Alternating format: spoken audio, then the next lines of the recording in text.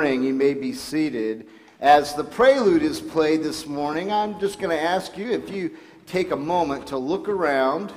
Um, our uh, contractor has pretty much finished the work here in the sanctuary, painting, patching, and putting in new crown molding. They still have to do some work in the windows. Uh, that'll be this next week. And then they're going to move to the fellowship hall. So um, just take a look around. Looks so much better with a fresh coat of paint on it. So thank you.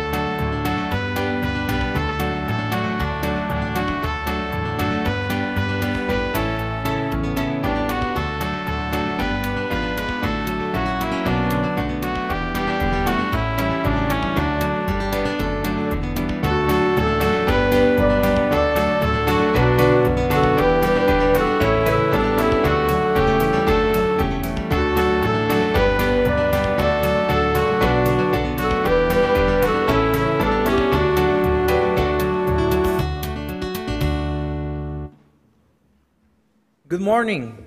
Good morning. Welcome to the morning worship service of First United Methodist Church here in Dimmitt.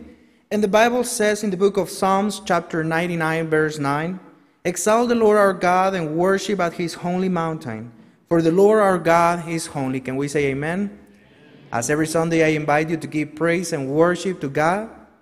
We're all welcome to the house of the Lord. We're very blessed by your presence here in this sanctuary or listening on the radio or watching on Facebook Live or on our social media.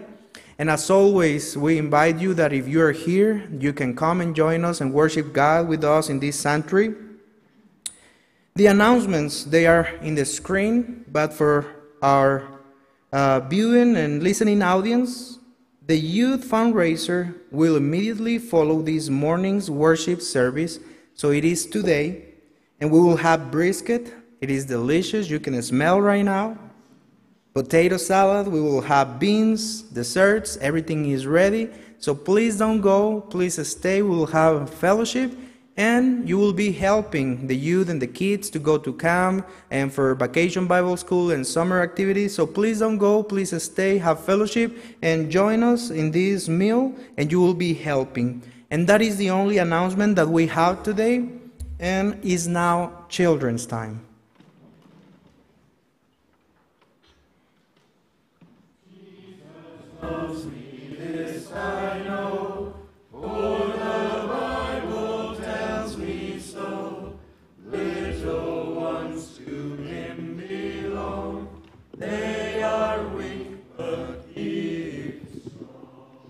Good morning.